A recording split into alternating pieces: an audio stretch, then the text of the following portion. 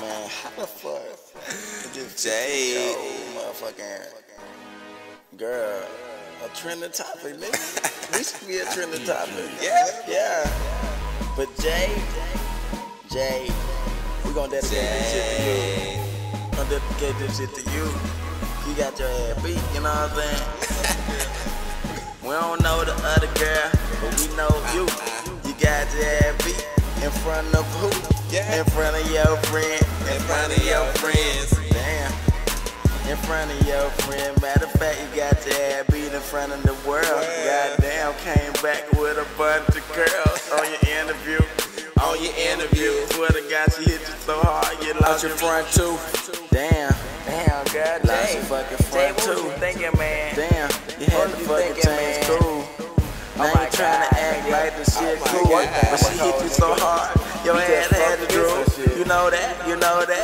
Took a picture that's Kodak. Yeah, she took a picture that's Kodak. You form, but she motherfucking throw that that uppercut the right way. Yo know that left foot swollen side of your head. Goddamn, when I looked at you, you kinda look dead.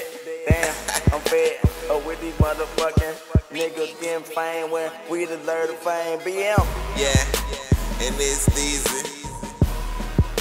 Yeah, it's easy. She. Man, I would date her if she wasn't skeezy. Yeah, she got beat up in the locker room with a crew. How you gon' bring yo crew, but you gon' lose yo two? nah, she didn't lose a two, but she should have as hard as the girl hit her with that right hook. Follow us on Twitter at jdeezy underscore too tall. At I am Mr. Woogie. BM. Shout out my nigga Quez. Yeah. Go download that 21st. Go download that Faded. Yeah. Yeah, we made it. Yeah, we made it. Yeah. Jay got faded.